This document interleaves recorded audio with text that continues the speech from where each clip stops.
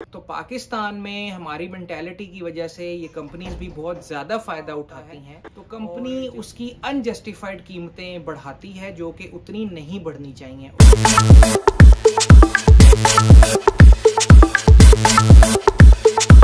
अल्लाम viewers क्या हाल हैं? Welcome to medicine world PK with आपका अपना pharmacist doctor Ahmed Salman viewers आज मैं आप सबसे मुखातिब हूँ क्योंकि ये वीडियो ऐसे माइंडसेट को एड्रेस करने जा रही है जो कि हम पाकिस्तानियों के जहन में दो चीज़ें बैठी हुई हैं जिनको मैं क्लियर करना चाहूँगा। सबसे पहले तो व्यूअर्स एक चीज़ ये कि हमारे जहन में ये है कि जो महँगा ब्रांड है या महँगी दवाई है, वो शायद ज़्यादा अच्छी होती है और ज़्यादा इफ़ेक्टिव होती है। और नंबर टू ये कि जो डॉक्टर ने दवाई या ब्रांड लिख दिया है, वही ब्रांड हमने लेना है वो शायद दुनिया का बेस्ट ब्रांड है। Oh, no. वो मिसकनसेप्शन हैं जो मैं आपके सामने कुछ मिसालों के साथ रख के क्लियर करने की कोशिश करूँगा। और इसके बाद इस वीडियो के बाद आपको जब क्लियर होगा तो आप खुद से फैसला कर सकेंगे आपको कौन सा ब्रांड लेना है और आप अपने बहुत ज़्यादा पैसे बचा सकेंगे। तो व्यूअर्स शुरू करते हैं।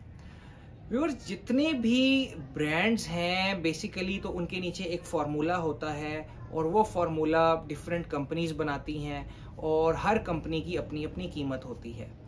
तो फिर एक ब्रांड ही डॉक्टर क्यों लिख के देता है? व्यूअर्स बाकी दुनिया में कुछ मुल्कों में तो आपको ब्रांड्स लिखने की इजाज़त ही नहीं होती कि आपको डॉक्टर ये कह दे कि आपने इसी कंपनी की दवाई लेनी है। बाहर के मुल्कों में बहुत से ममालिक में ब्रांड्स की जगह जस्ट जेनेरिक्स यानी कि नीचे फार्मूला जो मेन दवाई उस ब्रांड के अंदर होती है, वही लिखी जाती है, ताकि आप कोई भी ब्रांड खरीद लें। सब ब्रांड्स एक जैसे होते हैं, सब ब्रांड्स अच्छे होते हैं तो आप को कोई ब्रांड में एक तो ढूँढने का मसला भी ना हो, और नंबर टू आपको कॉस्ट इफ़ेक्टिव सस्ती दवाई मिल जाए। लेकिन व्यूर्स पाकिस्तान में क्या होता है?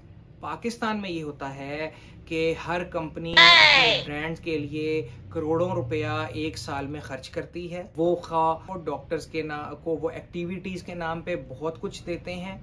और उसके अलावा हर मेडिसिन कंपनी की हर ब्रांड की अपनी टीम होती है जिस पे कंपनी करोड़ों रुपए लगाती है। और इस करोड़ों रुपए के नतीजे में डॉक्टर आपको वो ब्रांड लिख के देता है और आपको वो इंसिस्ट करता है कि मैंने जो ब्रांड जो कंपनी आपको लिख के दी है ये शायद दुनिया का सबसे अच्छा ब्रांड है। तो ऐसा नहीं होता। किसी भी ब्रांड के पीछे करोड़ों रुपए की इन्वेस्टमेंट होती है और तब वो ब्रांड आपको लिख के दिया जाता है। अब असल में है क्या? असल में एक दवाई बहुत सी कंपनीज़ बना रही हैं और तमाम कंपनीज़ गवर्नमेंट से लाइसेंस लेके अपनी फैसिलिटी बनाती हैं, अपनी अपनी फैक्ट्री का स्टार्ट करती हैं, अपनी इंडस्ट्री का स्टार्ट करती हैं। उसके अलावा हर स्टेप पे उस कंपनी के quality control and quality insurance department होते हैं जो कि उस कंपनी की क्वालिटी को उस दवाई की क्वालिटी को रेगुलरली मॉनिटर कर रहे होते हैं। और सिमिलरली गवर्नमेंट के इदारे भी टाइम टू टाइम उस इंडस्ट्री को विज़िट करते हैं और मेक श्योर sure करते हैं कि वो दवाई और वो कंपनी एक अच्छी क्वालिटी की प्रोडक्ट्स बनाए।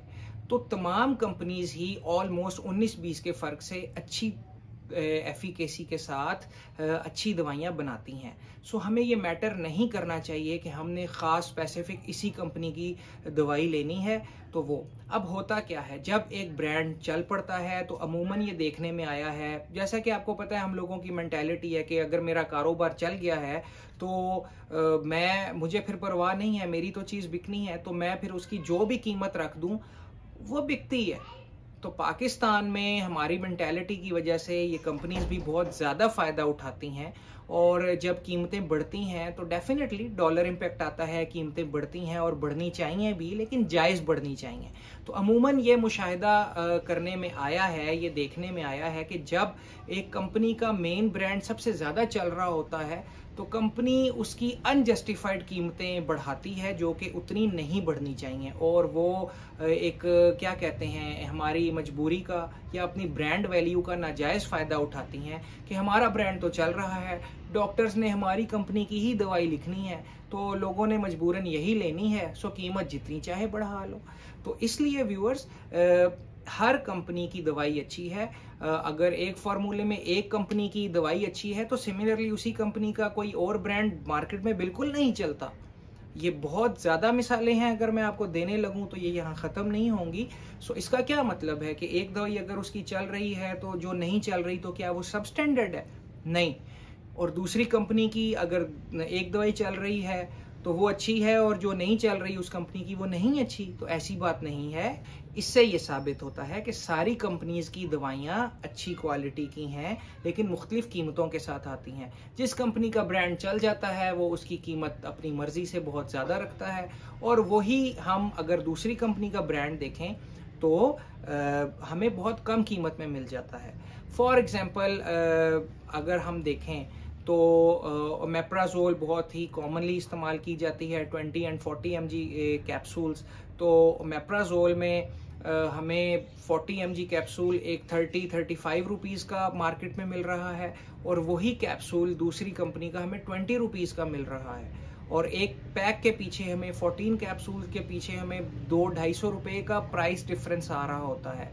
तो इसी तरह हर दवाई में ये मिसाल पूरी उतरती है और एक महँगा ब्रांड भी आता है और सस्ता ब्रांड भी आता है। सो आप ज़रूरी नहीं कि वही ब्रांड लें जो आपको डॉक्टर ने लिख के दिया है। आप कोई भी अच्छा ब्रांड ले सकते हैं जो कि इंतहाई कम कीमत में हो।